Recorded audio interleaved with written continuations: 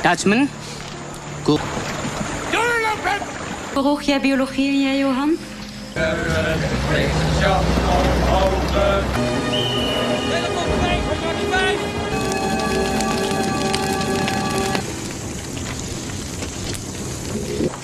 Ze spreekt nu goed Maleis. En ze leert ook je. Perjuangan kemerdekaan Indonesia, sebuah perjuangan yang harus dibayar mahal dengan darah dan air mata. Di dalam bulan kemerdekaan ini, Sans Film akan mengisahkan kisah sejarah seputar perjuangan kemerdekaan Indonesia, di mana pada video kali ini akan mengisahkan kisah seorang anak dari orang terpandang Belanda yang bersahabat dengan anak dari petani miskin yang bekerja padanya. Seiring berjalannya waktu, kedua sahabat ini mengarungi jalan hidupnya masing-masing hingga tibalah agresi militer Belanda yang kedua di Indonesia dan mereka berada di pihak Belanda dan pihak Indonesia. Bagaimanakah kisah persahabatan mereka? Langsung saja kita masuk ke dalam ceritanya dari sebuah film berdasarkan kisah nyata yang berjudul Uruk. kunnen er in ieder geval geen Merdeke meer roepen. Mies en nou Teun. Teun, Jauh rasa sayang-sayang eh. hantu nggak kelihatan. Hij is hier wel ergens. Kisah berawal di tahun 1946. Di atas sebuah gedung kolonial Belanda, nampak dua pejuang Indonesia sedang merobek bendera negara Belanda menjadi bendera Indonesia. Kisah kemudian beralih di sebuah kamp latihan militer di Belanda. Seorang komandan yang bernama Sersan van Bergen melatih para tentara muda sebelum dikirim ke Indonesia untuk agresi militer. Kijk wat moet hier. Jij gaat zo'n binnen, zo'n reiskakkers. Pada malam harinya, para tentara menyaksikan sebuah film yang menjelaskan bahwa tujuan pemerintah Belanda mengirim pasukannya menuju ke Indonesia adalah mereka ingin memulihkan Nusantara setelah mundurnya pasukan Jepang. Namun faktanya, Belanda berniat menjajah lagi dan merebut kemerdekaan Indonesia. In de korte tijd dat wij Seorang tentara yang bernama Johan tiba-tiba teringat dengan masa lalunya. Dia pun melihat sebuah foto masa kecilnya bersama seorang anak pribumi. Kemudian, kisah beralih ke 8 tahun silam, tepatnya di tahun 1938. Ternyata, Johan pernah tinggal di Indonesia di desa Kebonjati. Ayah Johan merupakan pengusaha perkebunan teh yang sangat kaya raya. Saat masa kecilnya, Johan menjalin persahabatan dengan seorang anak Indonesia yang bernama Uruk. Uruk ini adalah anak dari seorang kepercayaan ayahnya Johan yang bernama Depo. Uruk juga sering mengajak Johan bermain bersama di lingkungan sekitarnya. Saat bermain di danau, Uruk memberitahu berbagai hantu yang ada di tanah air. Hal itu pun membuat Johan ketakutan dan melempar dayung ke danau. Dia mengira kalau di dalam danau ada wewe gombel. Tapi toch, ik lihat dia. Di Dan gara-gara Johan melempar dayung ke tengah danau, mereka berdua pun tak bisa pulang. Untungnya saat sudah malam, ayah mereka sibuk mencari dan berhasil menemukan mereka yang sedang terjebak di danau. Jij blijft morgen de hele dag op je kamer. Heb je... Papa! Nee, ik wil er niets meer over horen. Setelah kejadian itu, Johan dan Uruk dimarahi ayahnya dan dilarang bermain bersama untuk sementara waktu. Namanya juga masih bocah, mereka berdua tak menghiraukannya. Bahkan Uruk dan Johan membuat sumpah persahabatan. Jauh dekat, tetap saudara. door de Kemudian, kisah kembali saat pasukan Belanda sudah tiba di Batavia, yang kini kita kenal sebagai kota Jakarta. Johan mengunjungi sebuah kamp pengungsian warga Belanda. Di sana, Johan bertemu dengan gurunya sewaktu di sekolah yang bernama Lida. Lida, Acht jaar is een lange tijd. Lida sangat terkejut melihat Johan sudah dewasa dan menjadi tentara Belanda. Morgen, juffrouw Banning. Lalu, Johan bertemu dengan pamannya yang bernama Chris. Chris memberitahu jika ayah Johan berhasil selamat dari serangan Jepang dan kini masih tinggal di kebun jati. Hendrik. Mendengar itu, Johan segera pergi ke sana bersama Tiwan untuk menemui ayahnya. Sesampainya di kebun jati, Johan menyempatkan diri pergi ke danau, tempat dia dulu bermain dengan Uruk sahabatnya. Namun saat ini, Johan belum mengetahui di mana Uruk berada. Dan tiba-tiba, Johan disergap oleh seorang pejuang Indonesia. Johan mengira pejuang itu adalah Uruk yang mencoba menanyakan identitasnya. Tak lama kemudian, Tiwan datang memberikan tembakan hingga membuat pejuang itu kabur ke dalam hutan.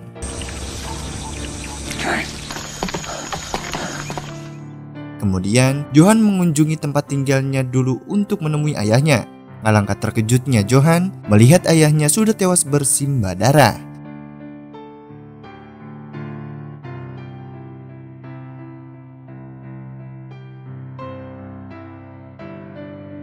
Johan pun sangat bersedih dan segera mengubur jasad ayahnya.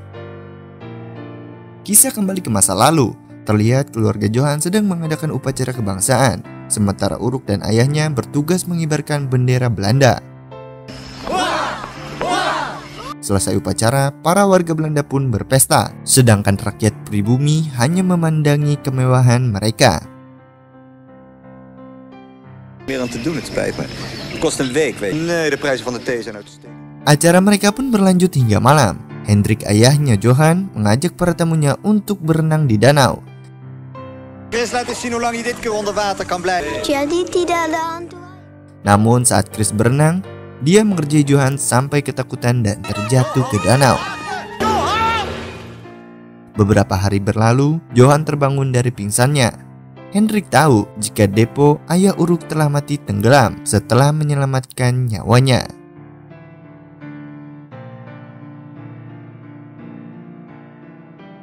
Mendengar hal itu, Johan merasa bersalah. Bersama Uruk, Johan mengunjungi makam Depo untuk mendoakannya. Kamu boleh tinggal di kebun jati. Ons, Tuan Belanda. Vergeef ons. Kisah beralih di pemakaman Hendrik. Johan menyangka kalau Uruk adalah pelaku yang membunuh Hendrik untuk membalaskan kematian ayahnya. Karena baru saja dia disergap oleh pejuang yang mirip dengan Uruk. Namun Lida membantahnya. Sejak penyerangan Jepang, Uruk pergi meninggalkan kebun jati. Dan sampai saat ini, dia tidak mengetahui keberadaan Uruk. Johan saat ini ditugaskan di Jawa Barat. Dia menemui atasannya yaitu Mayor Van Bergen untuk meminta izin menyelidiki kasus kematian ayahnya. Johan berjanji akan menangkap pelakunya dalam kondisi hidup untuk diinterogasi. Mendengar itu, Mayor Van Bergen menyetujuinya. Als ik het je verbied. Johan membawa pasukannya menuju ke sebuah perkampungan tempat tinggal orang tua Uruk.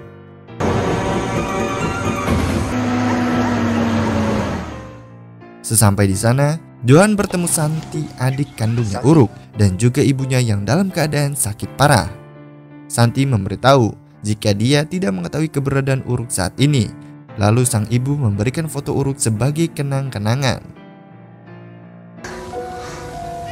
Terima kasih, Bu. Tidak ada di sini. Itu kecelakaan. Tak lama kemudian, mereka mendapat kabar dari markas Belanda jika tentara Indonesia akan menyisir wilayah tersebut. Johan dan pasukannya pun segera pergi dari sana. Namun dalam perjalanan, jembatan yang akan mereka lewati telah dihancurkan oleh tentara Indonesia.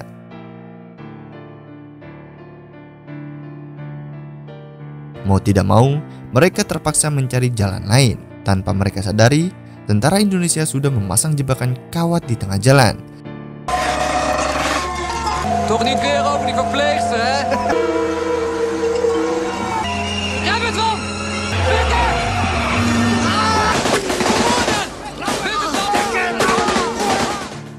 Alhasil, Tiwan terluka parah di bagian lehernya. Walau begitu, mereka berhasil menangkap seorang tentara Indonesia untuk diinterogasi. Johan berusaha menanyakan lokasi persembunyian tentara Indonesia dan keberadaan Uruk. Walau disiksa, tentara ini pun tidak mau memberikan informasi apa pun. Katakan sesuatu. Proses interogasi pun diambil alih sama atasannya. Nog iets van die orders, major? Nee, dankjewel. Neem eens wat. Wat ik hem daarnet ook al gevraagd heb. Sementara Johan mengunjungi Tiwan yang sedang dirawat oleh suster Rita. Tiwan yang tak kuat menahan sakit, Johan meminta Rita memberinya morfin. Namun Rita mengatakan kalau saat ini dia kehabisan morfin. Di saat mereka berdua sedang asik ngobrol, tiba-tiba Johan mendengar suara teriakan dan ternyata si mayor sedang menyiksa tawanan dengan cara ekstrim dan jika dibiarkan, tawanan itu bisa mati. Jij wilt de. Stop Johan meminta mayor untuk melepaskan tawanan agar mendapat perawatan. Walau si mayor mau melepaskan tawanan itu, namun ia mengancam akan melaporkan aksi Johan ini kepada atasannya. Dit zal ik moeten rapporteren. We aan het praten moesten krijgen. Namun Johan tak peduli, meski seorang tentara Belanda, dia masih memiliki rasa kemanusiaan. Kisah kembali ke masa lalu saat Uruk dan Johan berada di sekolah. Mereka diajari ilmu pengetahuan dan lagu kebangsaan Belanda.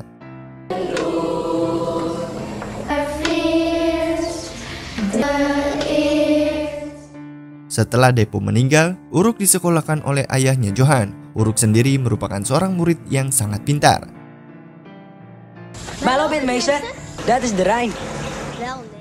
Saat Johan berulang tahun, Uruk memberi bambu runcing yang sudah dihias. Namun Hendrik membatasi persahabatan mereka dengan mengundang semua teman-teman sekolah Johan. Sementara Uruk dibiarkan main sendiri sehingga membuatnya sangat bersedih.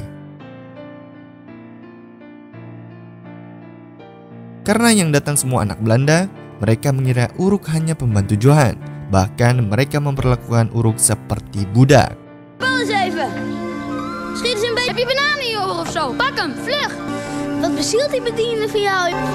Pak.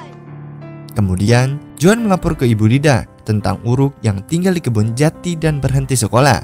Ibu Lida pun sangat terkejut. Apalagi, Johan melontarkan pertanyaan yang sangat miris. Mendengar itu, Bu Lida memberikan jawaban yang bijak. Jika manusia kedudukannya setara dan saling menghormati.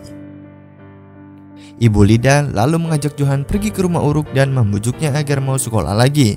Namun Uruk menolaknya dengan alasan dia memilih menjadi petani. Wat zegt hij? Hij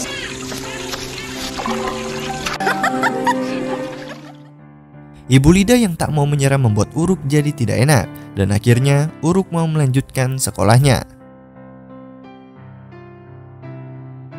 Johan kembali menemui tawanannya untuk menanyakan keberadaan Uruk. Namun sayangnya, Johan tak mendapat jawaban apa pun. Tak lama kemudian, Rita datang dan melarangnya menginterogasi pasien saat dalam perawatan. Ja. Saat Rita pergi, Johan menemukan beberapa morfin yang telah digunakan untuk tawanan itu. Padahal Rita pernah mengatakan kalau dirinya kehabisan morfin saat teman Johan mengerang kesakitan. Johan pun memergoki Rita di ruangannya dan menemukan botol morfin yang disembunyikan di buah semangka. Hal itu membuktikan kalau Rita bekerja sama dengan tentara Indonesia. Bukannya dilaporkan ke atasannya, Johan malah meminta Rita agar dipertemukan dengan Uruk dan Johan berjanji akan merahasiakan kelakuan suster Rita. Keesokan harinya, pimpinan militer Belanda menemui Johan. Rupanya si mayor melaporkan Johan karena melarang menginterogasi tawanan. Dat het bijeenroepen van een zou ik het als verantwoordelijk officier. Atas pelanggaran itu, Johan pun diberhentikan dari satuan militer dan akan dipulangkan ke Belanda. Oppasser van jou. Bezoek jij zijn ouders als je in Nederland... Saat di kamarnya, ada bocah yang memberi pesan kepada Johan. Ia diminta datang ke danau sendirian untuk menemui Uruk. Er is veel waarover wij moeten spreken. Saat Johan sampai di sana, bukannya Uruk yang datang, melainkan para pejuang. Johan pun ditawan dan dibawa ke pos komando rahasia tentara Indonesia. Kemudian kisah kembali ke masa lalu. Persahabatan Johan dan Uruk masih terjalin hingga mereka tumbuh dewasa. Mereka pun akan menonton film di bioskop. Twee kip stront in je oren. Laba, laba, laba, laba. Namun sesampainya di bioskop, mereka berdua tidak bisa menonton bareng karena tempat duduk orang Belanda di depan layar, sedangkan rakyat pribumi hanya bisa menonton di belakang layar. Walau sudah merdeka, rakyat Indonesia masih mendapat diskriminasi dari Belanda. Supaya Uruk tidak kecewa, Johan akan menunggunya di warkop sambil ngopi. Namun ternyata, Johan diam-diam nonton bioskop di tempat Belanda. Dan sialnya, dia ketahuan oleh Uruk. Kisah kembali lagi ke masa kini. Sesampainya di pos komando, Johan sangat terkejut melihat Lida bekerja sama untuk tentara Indonesia. Selama ini, Lida menyiarkan suara kemerdekaan di radio yang dilarang oleh pemerintah Belanda. Lida memberitahu Johan kalau nyawanya pernah diselamatkan oleh Uruk dan para tentara Indonesia di saat pasukan Jepang menyerang Indonesia. Weten waar oorlog is. Niet kunnen laten gaan. Vanaf nu ben je... Setelah itu, para tentara membawa Johan menuju ruang tahanan. Namun di tengah perjalanan terdengar suara tembakan.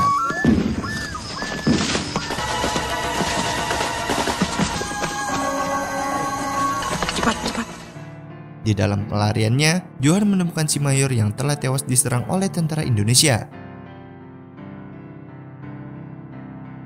Tak jauh dari sana, Johan melihat perkampungan orang tua Uruk yang sudah terbakar. Alangkah terkejutnya Johan melihat semua penduduknya telah tewas dihabisi oleh tentara Belanda.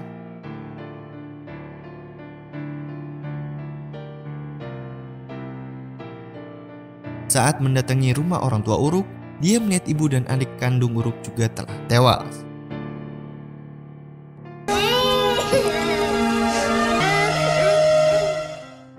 Johan pun sangat bersedih melihat kekejaman negaranya. Namun tak lama kemudian, Johan kembali ditangkap oleh tentara Indonesia.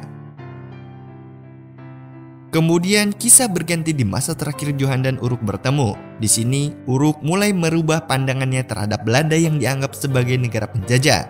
Karena hal itu, Uruk sangat membenci Belanda dan akan bergabung bersama pejuang Indonesia. Johan pun merasa kecewa dengan keputusan Uruk. Kemudian Uruk mengungkapkan semua yang selama ini ia pendam. Uruk mengungkit kematian bapaknya demi menyelamatkan Johan saat terjatuh di danau. Mereka berdua pun bertengkar hebat, sampai-sampai Uruk mengusir Johan dari sana. Beppo, spring in het water, want anders wordt mijn goeie... Kemudian kisah kembali ke masa kini. Lida mengunjungi Johan yang sedang ditahan. Lida kemudian menjelaskan fakta sebenarnya bahwa saat Johan terjatuh ke danau, ayah Johan lah yang menyelamatkannya. Depo yang melihat arloji Hendrik terjatuh, ia mencoba mengambilnya meski ia tidak disuruh. Namun sayangnya, Depo malah tenggelam karena tubuhnya terjerat tumbuhan air. Hendrik merubah fakta kejadian itu karena dia sangat malu dengan kematian orang kepercayaannya hanya karena arloji. Sementara yang membunuh Hendrik bukanlah Uruk melainkan orang lain. Lida juga memberitahu kalau Uruk telah ditangkap oleh tentara Belanda dan dipenjara di Bandung karena Uruk telah mendeklarasikan kemerdekaan di gedung kolonial Belanda. Kemudian, Johan pun disuruh bersiap-siap dan akan dibawa ke sebuah tempat.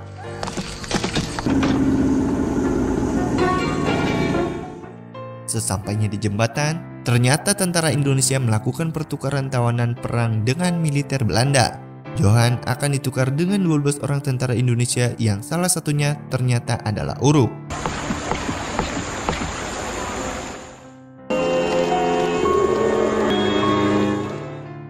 Johan pun tidak menyangka, akhirnya dia bisa bertemu lagi dengan sahabatnya. Uruk mengatakan, kalau nyawa seorang Belanda ditukar dengan 12 rakyat pribumi, itu artinya mereka masih belum setara. Johan pun kembali mendekati Uruk. Dia mengatakan kalau pertukaran ini setara dengan seorang sahabat. Kemudian, Johan memberikan arloji peninggalan ayahnya kepada Uruk sebagai tanda persahabatan mereka. Uruk kembali mengucapkan sumpah tawalah tu tawalah na yang artinya jauh dekat tetap saudara. Tawalah tu tawalana. Jauh dekat tetap saudara. Lalu kemudian kisah pun berakhir. Begitulah kisah perjuangan para pejuang kemerdekaan Indonesia dan pasukan Belanda yang ingin menguasai kembali Indonesia harus gagal karena perjuangan mereka. Begitu pula dengan Johan. Dari sekian banyak penjahat Belanda, Johan adalah seorang yang sangat baik dan sangat menjunjung tinggi nilai kemanusiaan dan persahabatan. Terima kasih kepada kalian semua yang telah menontonnya hingga akhir. Dan kita bertemu lagi pada kisah sejarah, perang dan pertempuran selanjutnya. Sampai jumpa. Jauh dekat